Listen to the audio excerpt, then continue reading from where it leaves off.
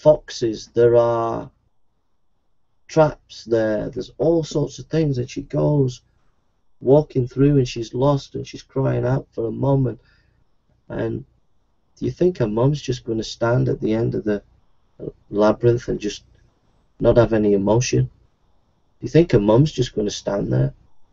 If she's any kind of a mother, she will be yearning for her little daughter and she, she will go through that labyrinth and she will pursue her daughter till she gets hold of her daughter, and her daughter will be crying, and she'll get hold of her daughter, and she'll hold her daughter in her hands. My daughter, love you. Come here. You were lost.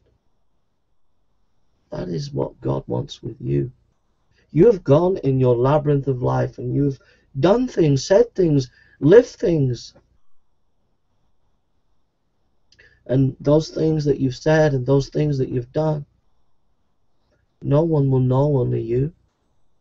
Only God, and you know. And you know the labyrinth that you went through. You know the agony and the pain and the suffering. You know the sins that you enjoyed, that you reveled in more than anybody else would know. You reveled in those sins and enjoyed to the full things that were disgusting and perverted. You enjoyed them. And you went in the labyrinth of life. Sometimes you were in agony, sometimes you were in tears, sometimes you were furious and angry, and you went on that journey. And all that time,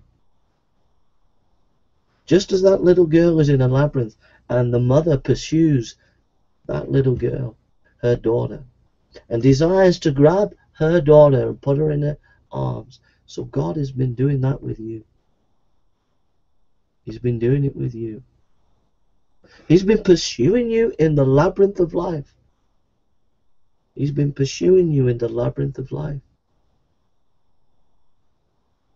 And he so much wants you to come and realize what he did for you.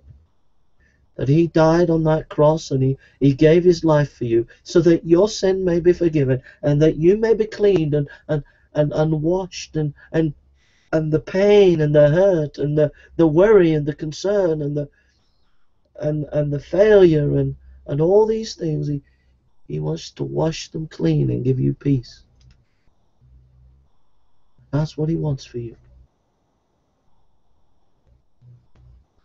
and sometimes he he has to allow you to go down that labyrinth because you wouldn't listen just like the little girl, the mum tells the little girl, whatever you do, don't go down that labyrinth, my dear, because it's quite dangerous. There's potholes and there's manhunts and there's foxes and also don't go down that manhunt. And the little girl says, I'm going, and she goes. And God says, don't go that way. And when we go that way, we there's a, there's our conscience that tells us, no, we shouldn't go.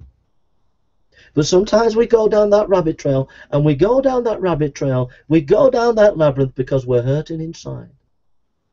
We're all screwed up and mixed up, and God knows that. God knows that.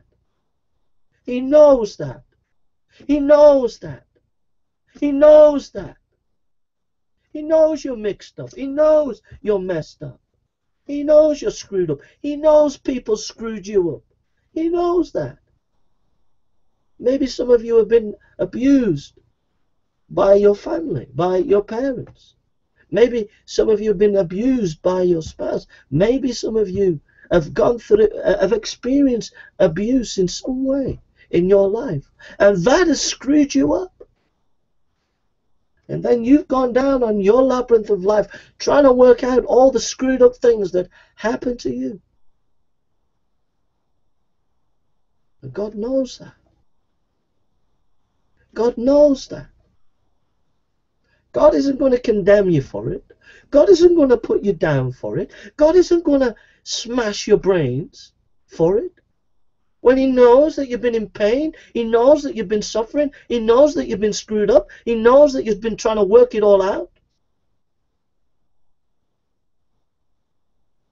You see, God. You see, God is a God of grace.